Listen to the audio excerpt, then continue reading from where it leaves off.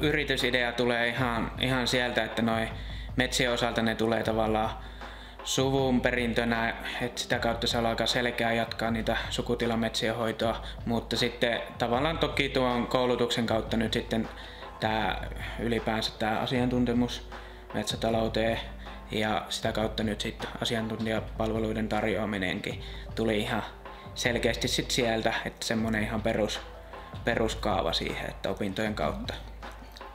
Mä sain yritysidean aikoinaan siitä, että, että mä oon aina rakastanut kaikkea visuaalisuutta ja oon rakastanut kirjoittaa ja piirtää ja maalata. Ja mä oon kauan aikaa miettinyt sitä, että olisi ihana saada tehdä siitä ammatti itsellensä.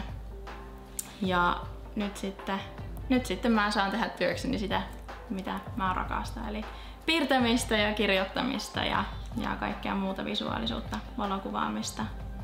Niin, niin siitä se yritysidea lähti ja syntyi ja sitäpä nyt mä sitten teenkin työkseni.